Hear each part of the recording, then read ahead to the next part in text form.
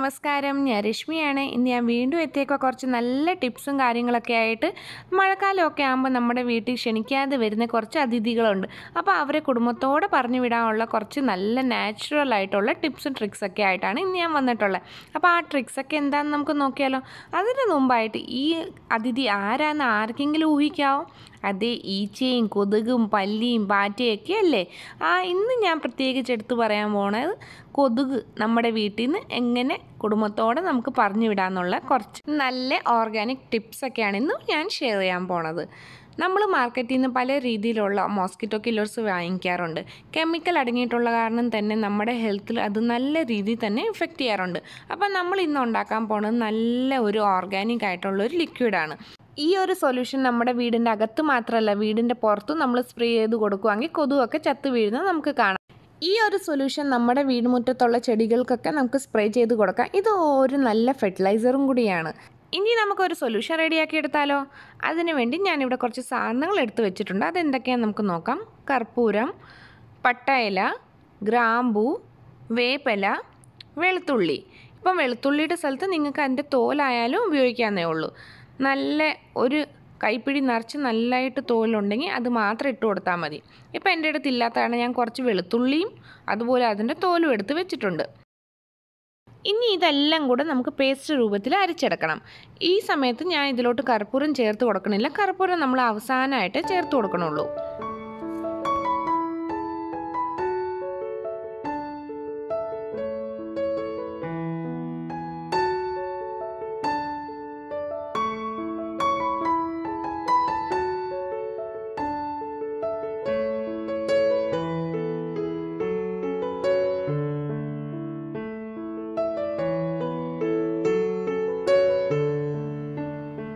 ഞാൻ ദേ ഇവിടെ ഇത് അരിച്ചുകൊണ്ട് വന്നിട്ടുണ്ട്. ഇനി നമ്മൾ ഈ കൂട്ട് രണ്ട് ഗ്ലാസ് വെള്ളത്തിൽ ഇട്ട് തിളപ്പിക്കാൻ പോവാണ്. നല്ല രീതിയിൽ തിളച്ച് ഒരു ഗ്ലാസ് വെള്ളം മിച്ചം വരുന്ന വരെ നമുക്കിതൊന്ന് നല്ലതായിട്ട് തിളപ്പിച്ചെടുക്കാം.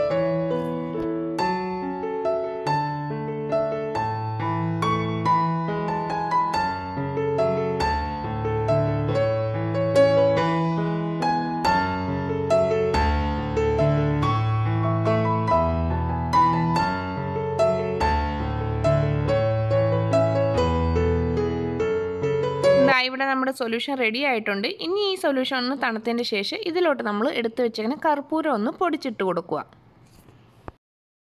നല്ലതായിട്ട് തണുത്തതിന്റെ ശേഷം അരിപ്പ വെച്ച് ഇതൊന്ന് അരിച്ചെടുക്കാം. അരിച്ചെടുത്തിട്ട് നമുക്ക് സ്പ്രേ ബോട്ടിലിൽ നരച്ച് വെക്കുവാണെങ്കിൽ ഒരാഴ്ച വരെ നല്ല രീതിയിൽ തന്നെ നമുക്കിത് യൂസ് ചെയ്യാൻ പറ്റും. പിന്നെ വെളുത്തുള്ളി ഇടുന്ന കാരണം റൂമിലേക്ക് സ്മെല്ല് കാണുമെന്ന് ആരും തന്നെ വിചാരിക്കേണ്ട. അതിനാണ് നമ്മൾ കർപ്പൂരം ഇട്ട് കൊടുക്കുന്നത്. കർപ്പൂരം ഇടുമ്പോൾ നല്ല ഒരു വാസനയായിരിക്കും നമ്മുടെ മുറിയിലൊക്കെ. ഇത് നമ്മുടെ സോഫയുടെ അടിയിലും ബെഡിന്റെ സൈഡിലും അൽമാരിയുടെ ഒക്കെ സൈഡിൽ സ്പ്രേ ചെയ്ത് കൊടുക്കുവാണെങ്കിൽ അവിടെയൊക്കെ ഒളിഞ്ഞിരിക്കുന്ന കൊതുകൊക്കെ അപ്പം തന്നെ ചത്തു വീഴും. അപ്പോൾ ഇതായിരുന്നു നമ്മുടെ ഇന്നത്തെ ആദ്യത്തെ ടിപ്പ്. ഇനി നമുക്ക് ഇന്നത്തെ രണ്ടാമത്തെ ടിപ്പിലോട്ട് കടന്നാലോ?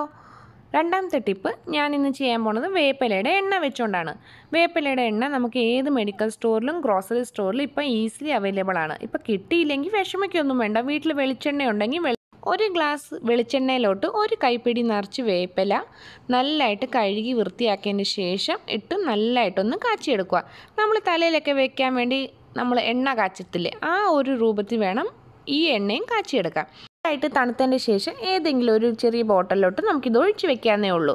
അപ്പം ദാ ഞാൻ ഇവിടെ ഒരു മൺചട്ടി എടുത്തിട്ടുണ്ട്. അതിലോട്ട് കുറച്ച് എണ്ണയും കർപ്പൂരവും ഇട്ട് കൊടുത്തിട്ടുണ്ട്. ഇനി നമുക്ക് ഇതിലോട്ട് രണ്ട് മൂന്ന് തിരി അങ്ങ് കത്തിച്ച് വെക്കുകയാണെങ്കിൽ നമ്മുടെ മുറിയിലുള്ള കൊതുകൊക്കെ ഇതിന്റെ അടുത്ത് തന്നെ വന്ന് ചത്തു വീഴും. ഒരു മിനിറ്റിനുള്ളിൽ തന്നെ നമുക്ക് കൊതുകൊക്കെ ചത്തു വീഴുന്നത് കാണാം. അപ്പോൾ ഇതായിരുന്നു ഇന്നത്തെ രണ്ടാമത്തെ ടിപ്പ്. ഇനി നമുക്ക് ഇന്നത്തെ അടുത്ത ടിപ്പ് നോക്കിയാലോ? ബിരിയാണിക്ക് ടേസ്റ്റ് കൂട്ടാൻ വേണ്ടി ഇടുന്ന ഈ ഒരു പട്ടയിലേക്ക് നമുക്ക് വേണമെങ്കിൽ മാജിക്കൽ ലീഫ് എന്ന് വേണമെങ്കിൽ വിളിക്കാം. നല്ല അടിപൊളി ടേസ്റ്റും അതുപോലെ തന്നെ നല്ല ഗുണങ്ങൾ അടങ്ങിയിട്ടുള്ള ഒരു ലീഫാണിത് അപ്പോൾ ഇതിലോട്ട് ഞാൻ കുറച്ച് വേപ്പിലയുടെ എണ്ണ തൂത്ത് കൊടുത്തിട്ടുണ്ട്. ഞാൻ ഇവിടെ തൽക്കാലം ഒരു ഇല മാത്രം കത്തിക്കണുള്ളൂ. ഇതുപോലെ മൂന്ന് ഇലയിലോട്ട് വേപ്പിലയുടെ എണ്ണ ഒന്ന് തൂത്ത് പുകയ്ക്കുവാണെങ്കിൽ നമ്മുടെ മുറിക്കകത്തുള്ള കൊതുകൊക്കെ അപ്പം തന്നെ പറന്നു പോണത് നമുക്ക് കാണാം.